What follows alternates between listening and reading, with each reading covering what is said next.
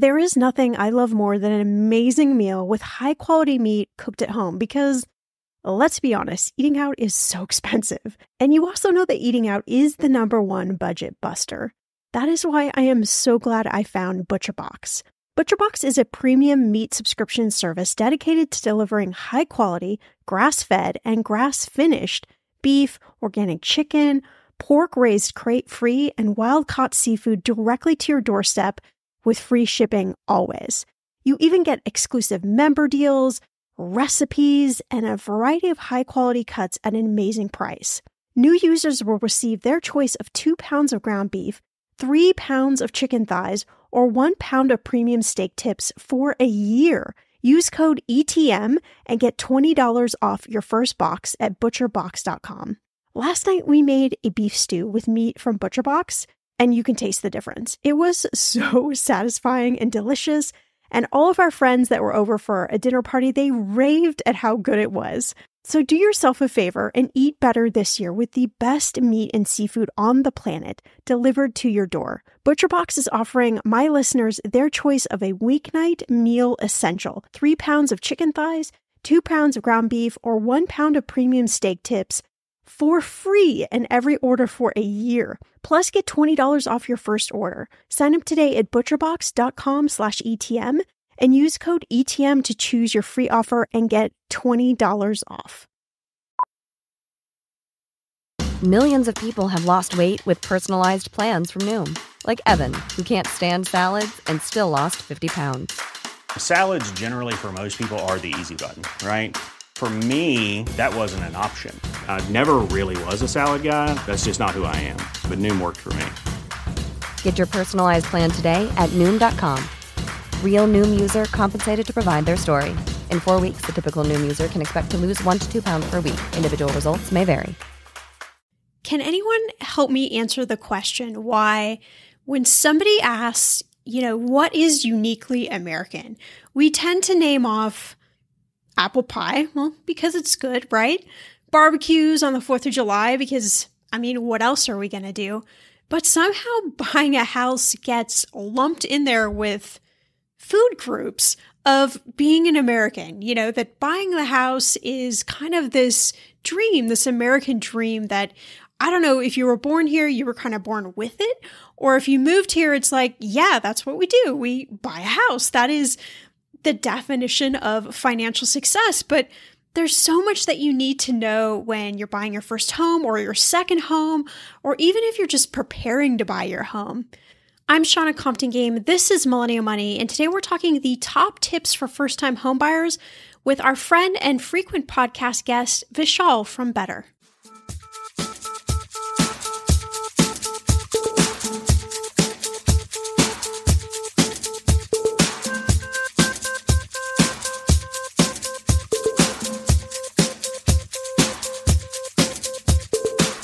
Millennial Money with Shannah Compton Game. It will expand your brain.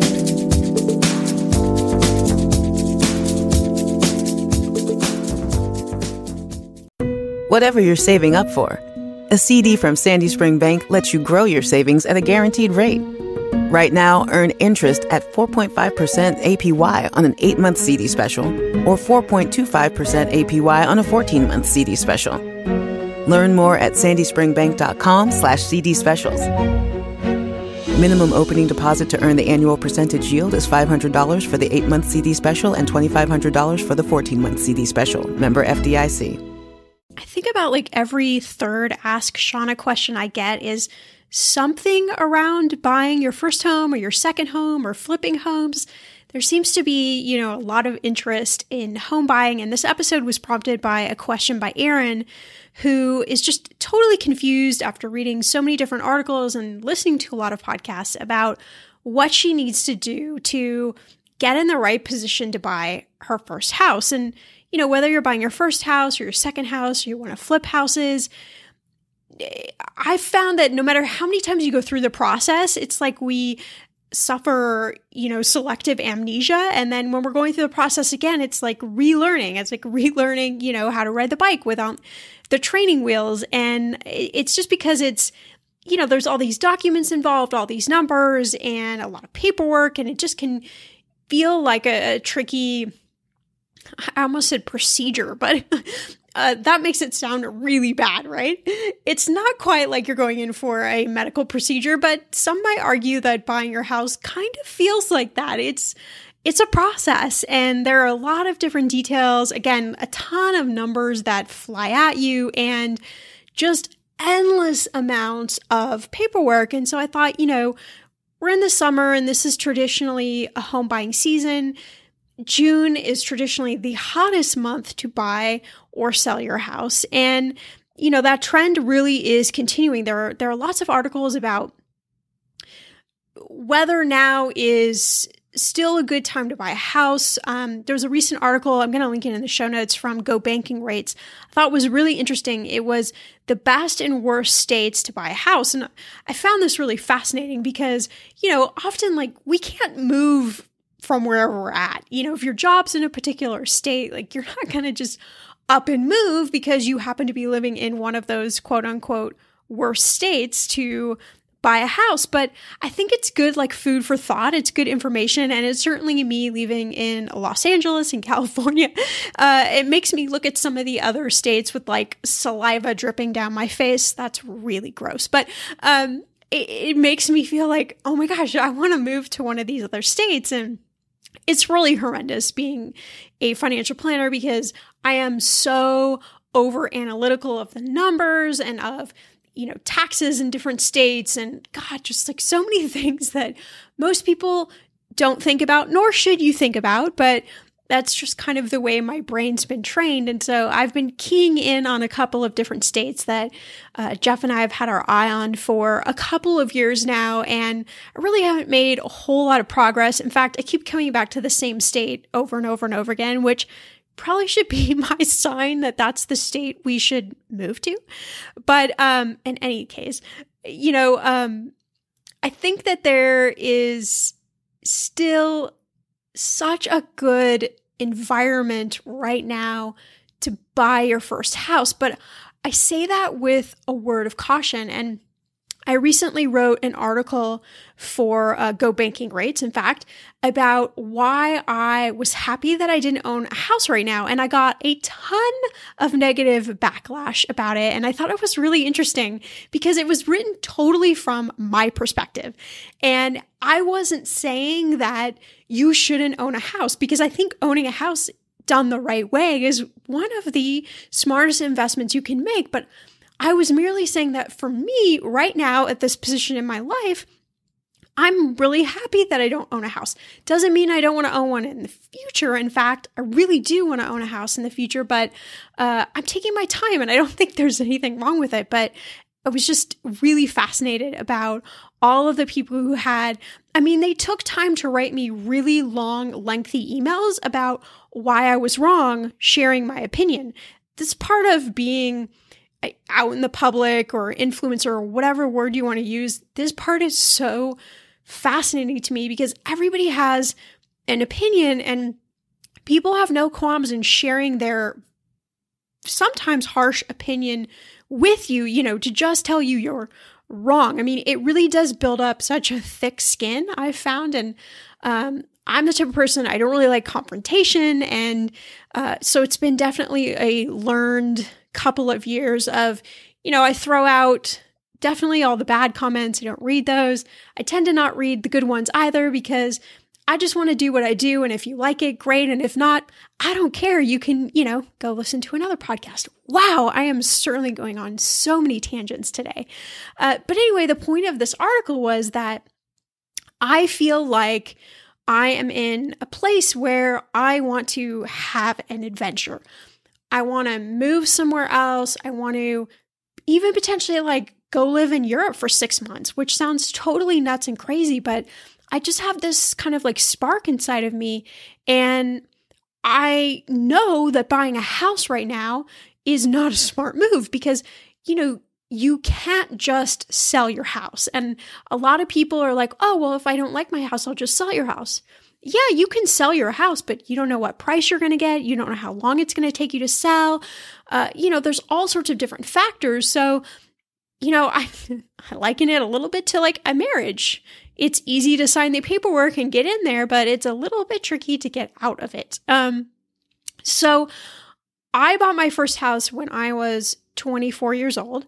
And that was really young. And, and I know I've shared this on the podcast before, but I didn't know what I was doing. I just thought, well, that's what that's what you do after you run a couple years. You just pile together some cash and you buy a house. And we had a very small amount of money in our savings account, if I'm going to be really honest with you, like somewhere around $5,000. It was not very much at all. And we had gone out and looked at houses. We'd gotten pre approved for a mortgage and we knew kind of the range that, you know, we were to look at. But we went to this house and I remember opening the door and I was like, this is my house. It just screamed my house. And if you've ever bought a house before, you know exactly what I'm talking about. It's just a feeling that you get. It's just a gut instinct that this is the place you're supposed to live in. And so, like, we made an offer on this house with $5,000 in our savings account, could barely afford the mortgage payment, but could pay the mortgage payment. And we knew that we had to ask our parents for more money for the down payment. I hadn't gotten okay on that or anything. I just was like a bold, you know, kind of like badass 24 year old that was like, it's just going to all work out. And of course, it all did work out. And it was such an amazing place to live. I, of course, let go of the house when I got divorced. And so, uh, you know, after that period of time, I, I just liked not owning a house. I liked being, I moved like three times after I left that house because I thought, well, I'm going to really enjoy this period of my life and I'm going to have fun and I'm going to live in places I've never lived before. I moved down to Long Beach, California and had a condo that I rented that was literally on the beach. It was amazing, probably more than I should have spent, but I was like, man, this is so cool. And so, you know, I just lived it up. And I, I knew that I didn't want to buy a house again when I got married with Jeff because we just were in kind of this phase of figuring out where we wanted to live and what we wanted our life to look like. And so buying a big asset like that just was not going to make sense. So, anyway, the whole point of this story is that buying a house is is a great investment. It can be just so impactful for your finances but it's also not for everyone at every stage in your life. And it doesn't mean that if you can't buy a house right now or you don't want to buy a house that you aren't somehow financially successful or you're not living the quote unquote dream. I think that kind of talk is ridiculous again when it comes to finances because this thing is called personal finance. So it is literally that. It is personal and it's your decisions and your choices. And we're all going to go through these different seasons and stages of life where certain things make more sense. So, you know, you got to kind of decide what what works for you and you know, we're still in a great mortgage rate environment. Mortgage rates are still low. They're not as low as they had been, but they are way far away from the highs. And so, you know, it's still a great time to, to get your foot in the door. And you know, then we got the debate about renting versus buying. And a lot of cities, uh, you know, a lot of the big cities, you're probably going to end up paying more money renting than you are if you were to buy a house. And, you know, so the argument is, well, I don't have 20% to put down, or I'm an entrepreneur and my income's all over the place. And there's a lot of hangups that existed even a few years ago that a lot of these financial technology companies like Better uh, landed. We did a podcast episode about this different ways to afford your down payment for your house. There's so many ways now to be able to uniquely afford that down payment that if it makes sense for you, if buying a house is the next logical step for you, then you might want to look at these different options and not just discount it because you were like my brash 24 year old self and only had a very small amount of money in your savings account. And, you know, there are a couple of things, a few things I would say that I definitely learned through the whole house process. And oddly enough, right after we bought the house, I uh, my only job, job, job, where I worked for someone else that I ever had in my life. I was a marketing director for a mortgage company. So I learned all the ins and outs of mortgages of i worked with real estate agents. So i really got to see kind of the underbelly of how, how this all worked. Saw the good side saw the bad side but i am forever grateful for that experience because I, I can bring a lot of that to these discussions and tell you what you need to be thinking about and also help you throw out the crap that you don't need to be thinking about. But you know i would say the main thing is it's just it's not as scary as you think. Again there's lots of paperwork. You know do some wrist circles first and you make sure you practice your signature because you're going to sign about a million documents. Um, but it's just not as scary and there are a lot of people involved but there are a lot of people to, to help you through it. And even if you get through the process and you're like i don't know what the hell i just went through that's fine as long as you can make the mortgage payment and you're living in your house. I think another thing that i want to share is that you definitely need more money than you think. You need more money than you think when you first purchase the house. You definitely need more money than you think your first few years in the house when you're adjusting to all the expenses and the things that kind of fly up at you. But the flip side of that is that the tax deduction that you get for the interest part of your payment is really nice.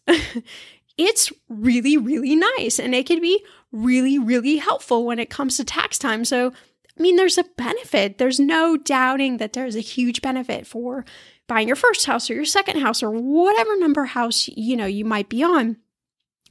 And, you know, with a word of caution, we, I mean, I am guilty of this. I'm a huge HGTV fan. Like, I watch way too much House Hunters. I could probably give you exact specifics of House Hunters International. It's just, it's like on repeat in our house and it's really it's really an addiction. It's ridiculous. But you know with all of these different kind of shows and and, and tips and styles and you know fixer upper and stars and I, all sorts of things to do with buying houses and fixing up houses I think it's really important to take your time and do the research for what you're buying and not just buy on aesthetics.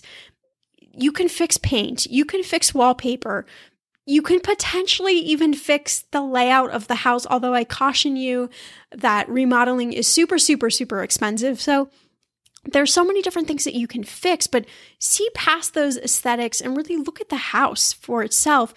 But be smart with the appreciation in the house. You know, why do you want to own this house? And I wish somebody had asked me this in the beginning when I bought my first house.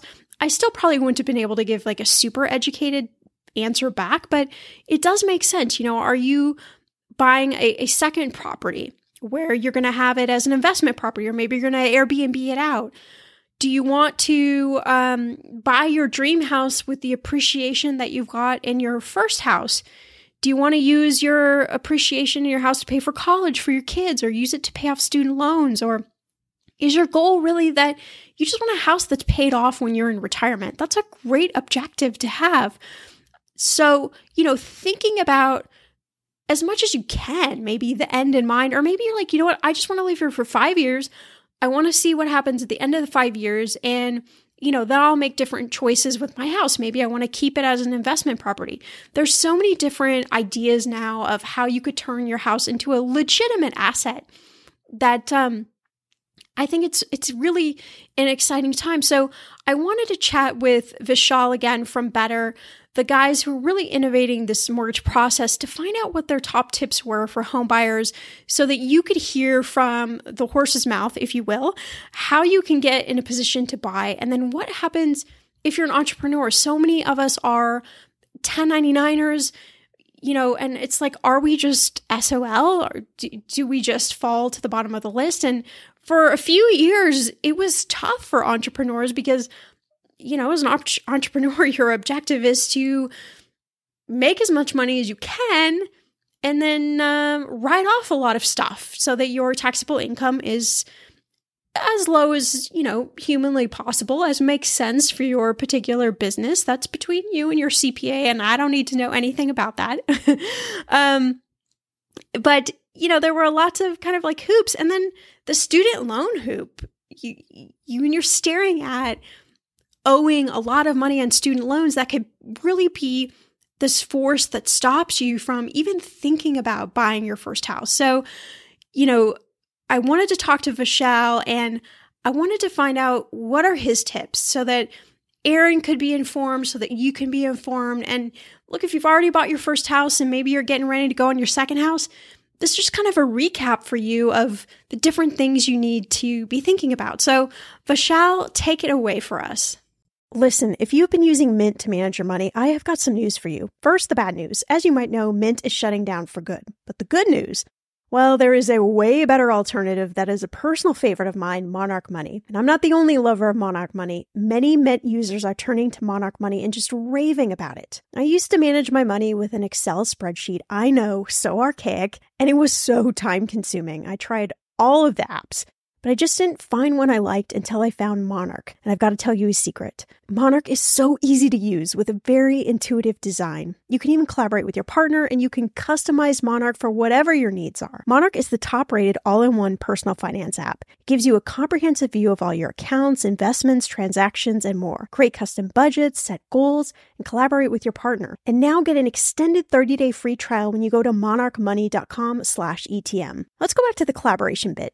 Because we know money is a leading cause of divorce and breakups, Monarch has built in collaboration features so you can invite your partner at no extra cost. You can see all your finances, make a budget together, get insights on your cash. Yes, cue the confetti. There will literally not be any more arguments over money. And if you've been frustrated with personal finance apps that are cluttered with ads, difficult to use, or rarely updated, so was Monarch. They built a new kind of personal finance app that's intuitive and powerful ad free, and constantly improving based on customer feedback. Monarch has a tool that allows you as well to easily import your data from Mint. You can keep all of your tags and all of your categories. After trying Monarch for myself, I understand why it's the top rated personal finance app. And right now, get an extended 30 day free trial when you go to monarchmoney.com slash ETM. That's M O N A R C H M O N E Y dot com slash ETM for your extended 30 day free trial. When it comes to financial advice, you got to trust the source. It's why you listen to this podcast. When I'm looking to upgrade my wallet, I turn to NerdWallet. Their expert team of nerds dives into the details to help you find smarter financial products. Before NerdWallet, I was paying for vacations all wrong. I was missing out on miles I didn't even know I was leaving on the table. Now I've got a new card with more miles and more upgrades. What could future you do with more travel rewards? I don't know, maybe that fancy hotel upgrade that you have always been dreaming about. Wherever you go next, make it happen with a smarter travel credit card. Don't wait to make smart financial decisions. Compare and find smarter credit cards, savings accounts, and more today at nerdwallet.com. Nerdwallet. Finance smarter. As with all cards, credit is subject to lender approval and terms apply.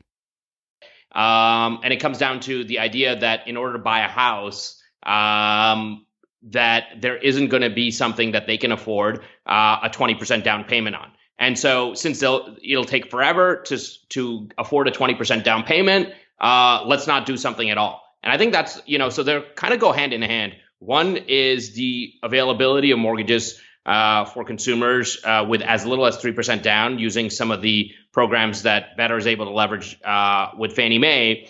And so, you know, on an average American home of $350,000 uh, in a major metro area, you can buy a house for as little as ten to $15,000 down, which, uh, you know, is, is savable. So one, we would say prioritize savings, prioritize getting fifteen to $20,000 saved so you can get that starter home, starter apartment in where you live today and stop paying rent right? Which is only going to then increase your savings. Um, the second uh, big tip is is that on the student loan side, yes, you could. It feels not only financially gratifying, but it may feel even emotionally gratifying to prepay some of those student loans to pay those balances down. But the fundamental fact of the matter is is that there are again a number of programs that are available that enable you to roll your student loans into your mortgage payment uh, to uh, you know to hold them out for a longer period of time. Uh, there are some features of student loans like deferment, uh, income uh, hardship, and other things like that. Uh, you know, income contingent payment options that are available. So actually, the right thing to do may be uh, to maximize your savings um, that you're going to have to be able to put down the three to five percent down payment on your home, rather than prepaying all those student loans down. Uh, particularly if you've got government student loans. Sorry. It, it, yeah, if you could just for a sec, you know, uh, that's kind of a new concept, I think, to a lot of listeners. So maybe if you could just take a second and, you know, what would maybe be, you know, a benefit to rolling your student loans into your mortgage? Um, so a couple of things, right? The first is uh, if you think about the average interest rate on most federal Stafford loans, uh, which is going to be the most common student loan that people have, those interest rates are going to range between five to six percent. Um, frequently, wherever you're renting, the average uh, rental rate, you know, as a percentage of the home value, is between eight to ten percent in ma- most major markets. Um, so that means your landlord is earning eight percent uh, on the property that they're renting to you. So if you think about it that way, right, it would make much more sense financially to be able to roll that six percent student loan into a four percent mortgage, so that you're not paying eight percent on rent. Um, is is probably the most simple way to to think about it. Assuming that you want to pay all your debts off on time, uh, the easiest uh, quote unquote debt to get rid of is your monthly rental payment. The second easiest would be your student loan payment, and then the third, ideally, if you your mortgage empowers you to do both, uh, you know, at a four to five percent interest rate, which is also tax deductible, uh, unlike the other two, uh, then that's uh, that's that's a smart move for everyone to make. Yeah, I love it. Great. Thanks so much for going into some depth. I know that's kind of a new concept for a lot of people. They're like, "What? I didn't know I could do that." Yeah, no, there's there's a number of companies, uh, ourselves included at Better.com, uh, that enable you to do that automatically as you go through uh, your uh, getting a pre-approval letter, where you're finding out how much uh, house you can actually afford, and you know it'll automatically surface those uh, options available to you uh, online. You don't have to talk to anybody. You can if you want to, but you know th- those are some things uh, that we're doing to empower uh, our first generation, first time home buyer. Uh, you know, from this generation, uh, something that that you know really specifically meets their needs. Um, the the next tip that we have is, you know, again on the 401k. the 401k, if if you're going to max that out, um, and that's going to come at the expense of saving for the down payment on your home. Uh, I think you know you have to sort of look at your options. So what is the rate of return on the 401k versus um, the rate of return on not renting? What it, you know, you might have an employer match on the 401k, so in in that case, it makes sense to max that out. Uh, but beyond that, you know, uh, it may not make sense to max that out. But just think about the sort of compound returns that you're earning uh, on your 401k versus what you might earn, you know, earn from from not having to rent. Um, the the another one is if you've got a signing bonus, you know, that's something worth noting. It's worth noting even in the application process itself that you've got a signing bonus coming and that can tr- substantially help you qualify because if you know you've got a signing bonus or a uh, your end of year bonus coming uh, that can be something where you might want to go start shopping for houses sooner uh, in anticipation of that coming before you know you get you know the actual house that you can buy. And what about for uh, you know uh, entrepreneurs or small business owners who you know don't have a lot of the kind of corporate perks and maybe their income is a bit flexible? Is there anything that they should keep in mind, kind of looking forward before they purchase a house? Yeah, I, I think the number one thing to keep in mind is that it is actually possible. Um, you know, technology enabled lenders are able to analyze uh, two or three 1099s just as easily as they used to be able, as you know, a, a, a, regular like mortgage bank uh, focused uh, lender might, you know, do a W two. And so, uh, you know, frequently those folks. Uh, I remember my dad; he was a small business owner, and he literally thought for forever that you know you'd have to save up the entire amount uh, of uh, the house in order to go and buy the first house, and then you know over time, um, uh, you know I, I, think that, that that misnomer just continues to persist. Uh, so I would say that one, getting a mortgage is possible. It's becoming more and more uh, a thing where even agencies like the Fannie Mae recognize that people earn money very differently uh, in this generation. So I, I, I think we've spoken about the Airbnb host program that uh, we helped launch with Fannie Mae, where you can now count Airbnb host income in order to uh, qualify for a mortgage refinance. Uh, we're working to extend that to um, to also use it to uh, purchase a home. So there are programs out there that allow you to, if you agree to put your house on air, you know, if you buy a two bedroom condo or a house uh, and you agree to rent out one of those bedrooms on Airbnb, that you can actually take some of that income from that contractual obligation and and count that into your mortgage. Um, Better is working to also enable, uh, you know, other folks, uh, people who are, you know, on ride sharing uh, gig economy websites and generating income from that. If they have a long enough period of regular income, that can also be established. And of course, those things used to be harder to compute, but now um, in a digital process, they become much, much easier to establish and to compute. So the bottom line is don't be afraid if you're self-employed or if you've got, you know, multiple 1099s, at least, you know, you know, go to better, see what could be uh, put together for your mortgage. You know, don't let that stop you. That do not let that stop you. Awesome. And um, I know that you also have some uh, interesting data as well uh, about kind of what's going on in the market. I'd love I'd love to hear some of that too.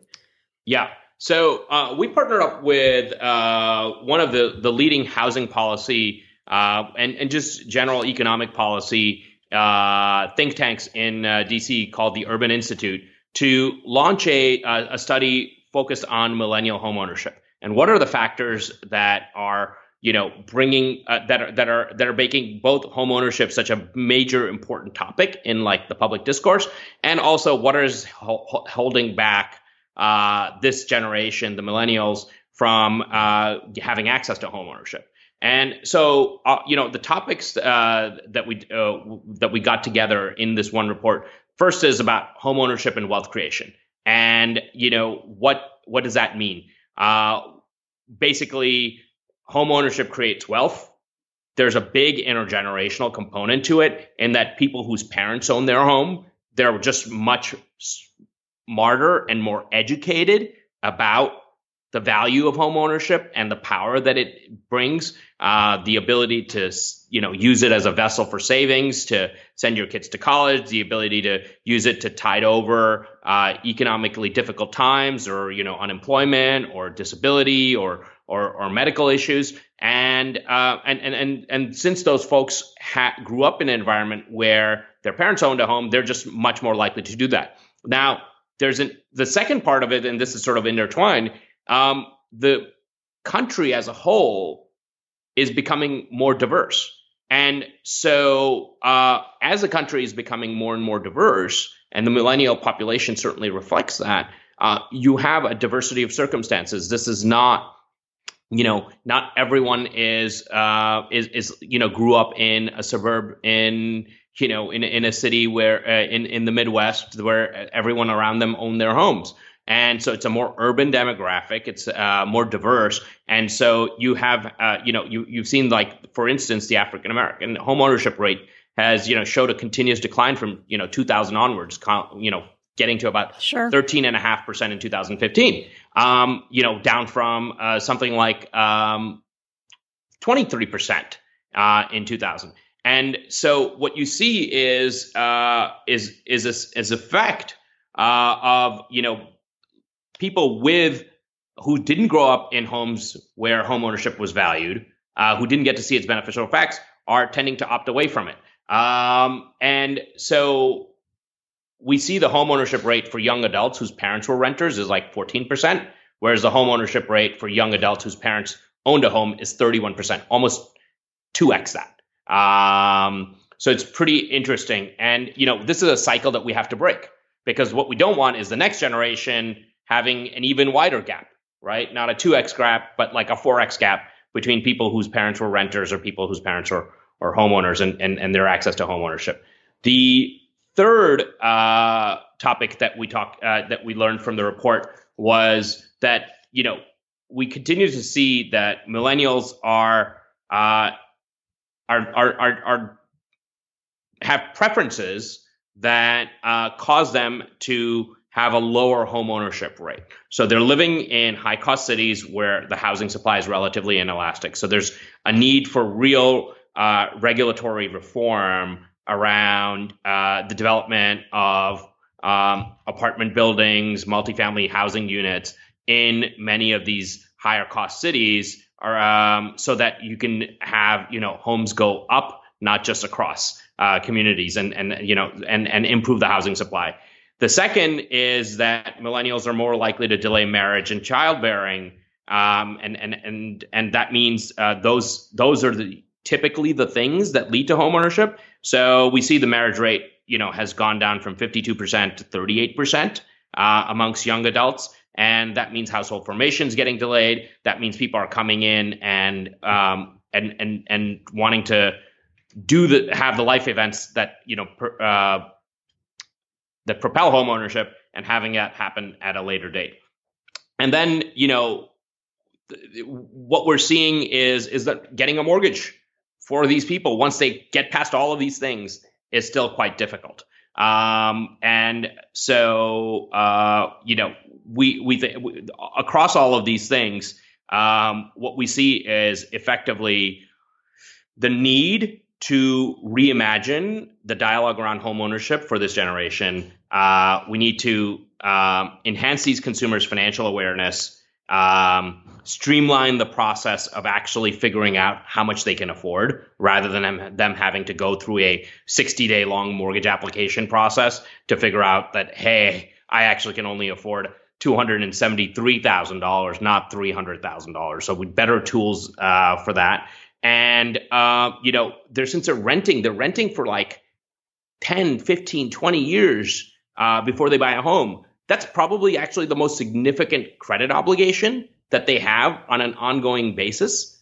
And it's not in their credit bureaus at all, right? It's like the student credit card that they had that they signed up for because they got a free t-shirt has a bigger impact than the 10 or 15 years that they have of rental income um, and, and, and, and rental payments. And so uh, those are some of the things that we're going to be pushing for from both a policy uh, local community regulation. And then the, the one thing that we can change by ourselves is really helping people understand how much they can afford and get on the journey to home ownership uh, faster, uh, cheaper, and you know to to get a, a better house uh, um, as fast as they can on better better.com. And and so that that's the the you know we're going to do our part to keep improving the home affordability tools and getting people the exact answer on how much house they can afford, uh, both the max, the minimum payment, all that sort of stuff, uh, as well as we can on better.com. But then, you know, there are a whole bunch of things that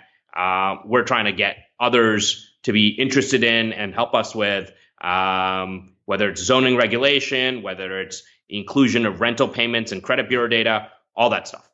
Right. So you're trying to just make this process, thank God, it's so much easier. Um, I bought a house many years ago and it was, you know, is a tough process. So, uh, you know, I think anything that can be done to, to better the system to make people more aware of what they can afford is great. So, uh, to wrap this up, if you, if you had to give, you know, one, two, three, a couple different tips to people who are thinking about buying a home, you know, what would you tell them? What are maybe the top three things to just get them in the right position to be ready to buy? Yeah.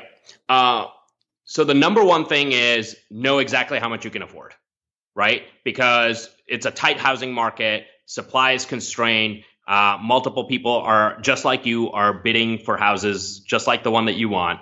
And so you may have to stretch a little, in which case knowing exactly where the the number is that is the house that you can afford is probably pretty important. It's probably the most important thing that you can do. Um, and that number is really easy to find on better.com. Number two, um, really figure out uh, what what renting for the next couple of years means for you and you know me and and and and and compute that number because that number might be helpful to keep in mind when you're out shopping for houses.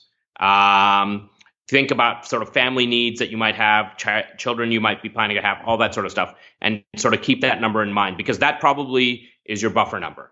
Um, and and so then you know, armed with exactly how much house you can afford, your buffer number, or, or you know, uh, so what it's going to cost you if you don't buy a home, and then number three, um, really focus on getting that first fifteen thousand dollars together for a down payment, which will help you buy a nice one to two bedroom place in almost any major market in this country, uh, perhaps outside New York or San Francisco and even there, uh, in the bulk of the of New York and San Francisco, that's affordable, and uh, and use that as a ladder to to get started. Um, and then you know that I, I would say those are the top three things. Those are awesome tips. Okay, so tell the listeners where they can go to find out more about Better and uh, to access all your great tools. Great. Uh, get started at better.com. Uh, use our uh, calculator uh, to figure out how much house you can afford and uh, then you know hopefully you're able to get a better house with a better commute um, in a better school district so you can have a better life so i guess the moral of the story is don't be scared away from buying your first house but also be prepared in the same breath as always, you can follow me on Twitter and Instagram at Shannah Game. And if you love this podcast, do me a favor, share it with your friends, shout it out on social media. All of that helps us grow the podcast. And hey, head on over to the podcast app that you're listening to this episode through and go ahead and leave us a review. Those reviews are so invaluable. They help us spread the word and they help Millennial Money continue to grow.